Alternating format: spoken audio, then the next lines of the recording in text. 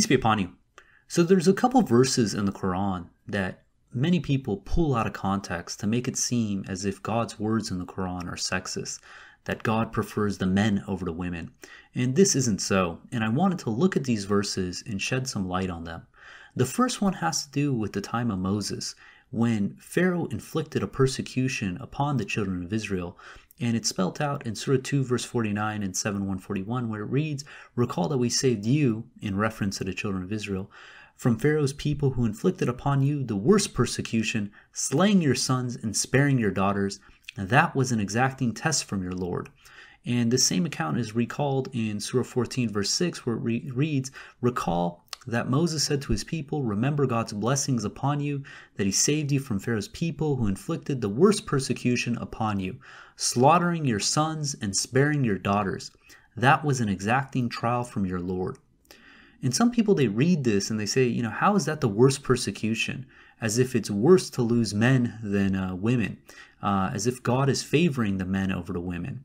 And what they fail to recognize is what happens to a society where the ruling power kills all the men and leaves only the women. How do you think those women are treated in that society? Do you think that they're able to fend for themselves? Do you think that they have much rights in a society like that? When you eliminate the bread earners, the warriors of that society, what do you expect happens to the women who have to grow up in such a society? This is the reason it's considered the worst persecution.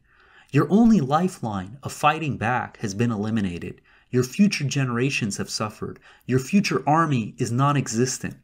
This is what makes this so terrible. I bet there was parents who would wish that their children didn't have to live in such a society, that their women were not born into such atrocities. But this is the way it is. And it's fascinating. If you look what happens in a society where it's predominantly female and this isn't even in a, a society that is uh, oppressive per se, but looking at US college campuses, when the majority of the students are females, do you think that sexual assault goes up or down? You would think that it would go down as if there's more females to uh, stick together to help out one another. But surprisingly, sexual assault goes up. It's because women are looked at as a commodity. So the few who end up even living in that society during the time of this persecution among the children of Israel are more apt to treat the women as a commodity because they are the scarce resource. So not only would they be persecuted by the Egyptians, they would probably be disrespected by their own people just because of the circumstances. So this is the reason that it's the worst persecution. In Surah 3, verse 195, we read that their Lord responded to them, I never fail to reward any worker among you for any work you do. Be you male or female, you're equal to one another. God is telling us, as far as belief is concerned, as far as His interests are concerned, the only thing that distinguishes us is our righteousness. And it doesn't matter if you're male or female, we each have an equal opportunity to gain in righteousness. In Surah 4, verse 32, it says, You shall not covet the qualities bestowed upon each other by God. The men enjoy certain qualities, and the women enjoy certain qualities. You may implore God to shower you with His grace. God is fully aware of all things. So each of us, male or female, we have certain qualities that God has bestowed upon us. Women enjoy certain qualities and the men enjoy certain qualities, and we shouldn't covet the qualities that God has given to either party. In 434, it says, The men are made responsible for the women, and God has endowed them with certain qualities and made them the bread earners. This is a responsibility upon the men, and with every single responsibility, uh, every single privilege comes responsibility. The fact that the men are made into warriors, that the men are expected to be the bread earners, that means they have the responsibility of taking care of the women. This is a responsibility that both parties should readily accept and be cheerful of.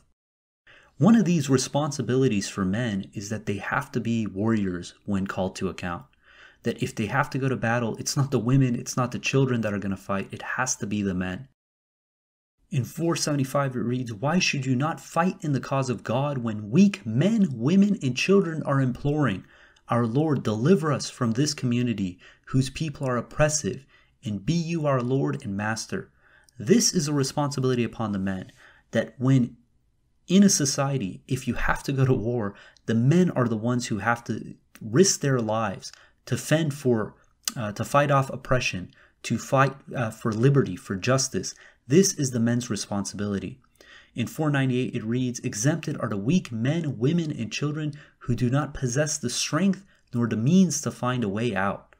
Meaning that this responsibility falls upon the strong men, the grown men, the people who can fight for themselves, who can stand up for others. This is a quality and a responsibility that every single adult male has to bear. In Surah 2, verse 246, it reads Have you noted the leaders of Israel after Moses? They said to their prophet, If you appoint a king to lead us, we will fight in the cause of God. He said, Is it your intention that if fighting is decreed for you, you will not fight? They said, Why should we not fight in the cause of God when we have been deprived of our homes and our children? Yet when fighting was decreed for them, they turned away, except a few. God is aware of the transgressors. This is the responsibility of men. The men are made responsible for the women. They've been bestowed with certain qualities. And their responsibility is the fact that if their freedom, their liberty is being threatened, it's the men's responsibility to do something about it. So at the time of the children of Israel during Moses, entire generation of men have been wiped out. Any chance of defending their liberties to fight oppression has been eliminated. And this is a duty that in the cause of God, we are allowed to stand up and fight against oppression, to fight for liberty, for freedom of religion, for freedom of speech. In Surah 2, verse 190 through 193, it reads, You may fight in the cause of God against those who attack you, but do not aggress. God does not love the aggressors. You may kill those who wage war against you, and you may evict them whence they evicted you. Oppression is worse than murder. Do not fight at the sacred masjid unless they attack you therein. If they attack you, you may kill them. This is the just retribution for those disbelievers. If they refrain, then God is forgiver, most merciful. You may also fight to eliminate oppression and to worship God freely. If they refrain, you shall not aggress. Aggression is permitted only against the aggressors. So these are the guidelines of war. Is that yes, the Quran talks about war. Yes, the Quran talks about killing. But it can only be done in the act of self defense, and it can only be done to fight oppression. God does not like the aggressors, meaning if someone is not aggressing against us, we have no reason but to offer them peace. And there's a quote I love. It says, The society that separates its scholars from its warriors will have its thinking done by cowards and its fighting done by fools. And in the Quran, this is what it comes down to is that it's the responsibility of the men to not cower away from such actions. That if it comes to it, if they have to go to war, that they do this willfully, just like the women, except that the men are made responsible for them and accept that willfully. Another example that's oftentimes cited to try to make it seem as if God's words are sexist is in reference to the angels as females. In Surah 43, verse 16, it reads, Has he chosen from among his creations daughters for himself while blessing you with sons? When one of them is given news of a daughter as they claim for the most gracious, his face is darkened with misery and anger. They say, What is good about an offspring that is brought up to be beautiful and cannot help in war? They claim that the angels who are servants of the most gracious are females. Have they witnessed their creation? Their claims are recorded. They will be asked.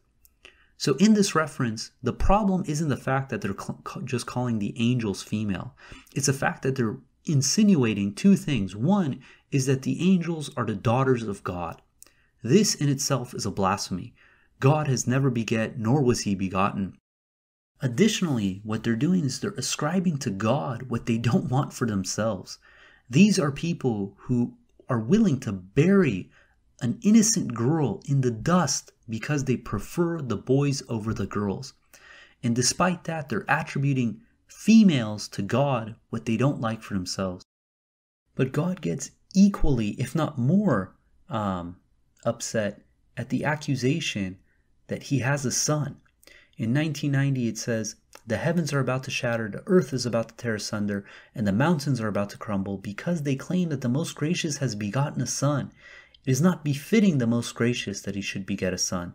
Every single one in the heavens and the earth is a servant of the Most Gracious. And in 1935 it reads, It does not befit God that he begets a son. Be he glorified. To have anything done, he simply says to it, Be, and it is. This attribute of begetting, what does it mean? This is a human attribute. This is the way that humans procreate. This is not befitting to be attributed to God. God is the creator.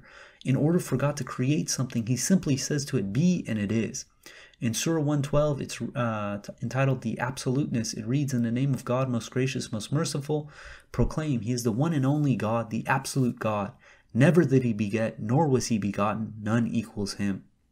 Now, some people make the argument that can't God have a son if He wanted to? Couldn't God have a daughter if He wanted to?